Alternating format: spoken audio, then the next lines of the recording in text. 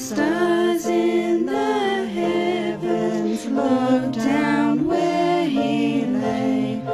The little Lord Jesus asleep on the hay.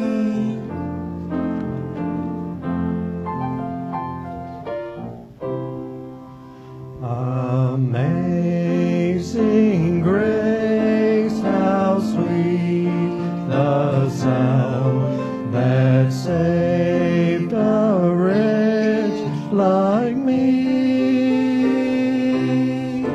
I once was lost, but now am found. One but Jesus, but now I. The kettle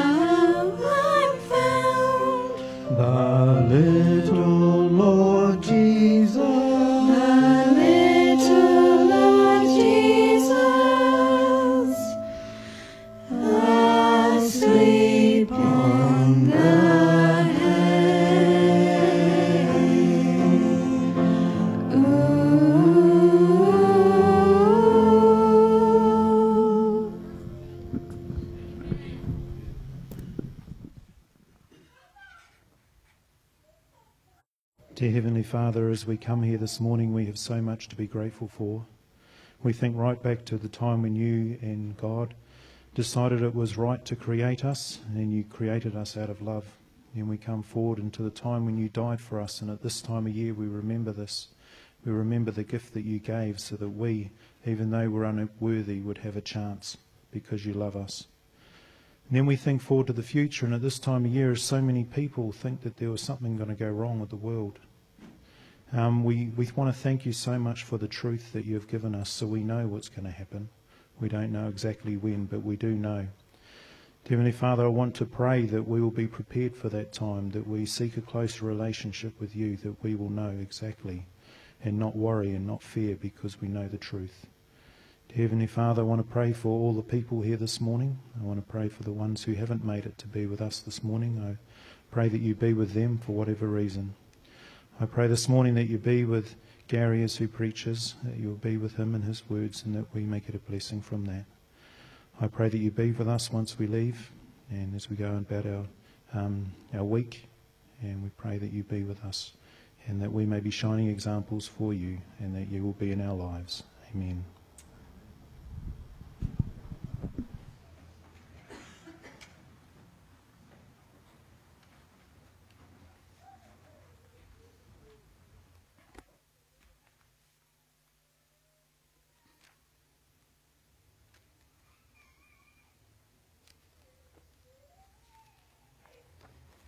Well, good morning. On. Yep. Good morning, everyone. It's great to be here this morning, isn't it? It's been such a busy week, and everyone's been busy running around doing all sorts of crazy things. The town has been absolutely gone silly too, uh, with the amount of volume of people that's down there. And it's amazing the amount of people who've said to me after I've done a job, "Look, I'd like to wish you a happy Christmas, but you don't celebrate Christmas, do you?"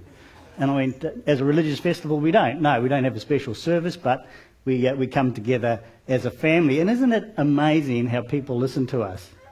They're always listening to what we've got to say, especially in regards to um, when we're talking about, about the Lord. I'd also like just to take this opportunity too, as Lou's done, to thank um, Aaron for all the work he's done for our, our church here. He's uh, always stepped up to the mark, and uh, on behalf of everyone, Aaron, thank you very much, and we wish you God's blessing down there in the South Island. Remember, it has a winter, it gets cold down there. Uh, it's much warmer up here, and also Christchurch shake, so be careful down there. Well, um, my, I'd like to start my sermon this morning with a, a little story. And it's about Lisa. Um, Lisa, on the day before her wedding, says to Brad, her fiance, I'm sorry, but I can't marry you. And Brad's mouth drops and goes, What? He says, oh, I'm sorry, I can't. I can't. And she takes off. She takes off. Brad's standing left at the door going, What's going on? I love this woman. And Lisa says, No, I can't. So she takes off up to her room, followed very closely by her mum and dad. They heard the conversation that she had with Brad at the door and says, Lisa, what's going on? You love this man. She says, I do. I love him to bits. And I know he loves me. But, and her mother says, It's his mother, isn't it? She said, Yeah. She hates me. She's been trying to get rid of me since I've been since our uh, engagement. I just can't marry her. Then her father turns around, and to, around to her and says, Lisa, don't you think Brad's had a pretty rough upbringing and he's only had his mother? Wouldn't it be nice if we could invite Brad into our family and show him what a real family is? Lisa thought about that. She said, Look, Mum, she said, all I want is to be happy with Brad and, and that when, when, when our kids come along, that they can have grandparents and, you know, they're going to have you and, and I want them to have, a, have a, a lovely grandmother too. And she said, well, just give them a chance. That evening, Lisa falls asleep and when she awakes in the morning, Brad is sitting at the end of her bed. And with tears in her eyes, she says, yeah, I'm going to marry you, Brad. And because uh, that was his, uh, his greatest uh, gift that morning that she was going to do that. And not long after they'd come back from the honeymoon, Lisa says to Brad, her husband, Brad, we're going to start praying for your mum. Because on the wedding day, she was avoiding her mother, future mother in law as much as she could. And even when they drove off on their honeymoon, mum, Brad's mum comes and says, I can't understand why God has taken my son away from you and given him to you. They didn't say anything, they just drove off, even Brad. But she says, after the honeymoon, she says to him, uh, Brad, honey, we're going to start praying for your mum every day. We're going to pray for your mum. And they did. Every morning they started to pray for his mum. They started to ring her, ring her once a week. And it became twice a week because she rang also. And slowly they could see a change taking place in Brad's mum. To the extent where Lisa came up with the great idea that let's send her an air ticket. Brad goes, now you are nuts. She said, no, let's give her a chance. Let him, let's invite her and just see how, how we are as a, as a married couple. And she couldn't understand why Lisa and Brad had sent her an airplane ticket. Anyway, she came and thoroughly enjoyed it. And of course, the story goes on where they kept on praying and loving and showing kindness towards his mum.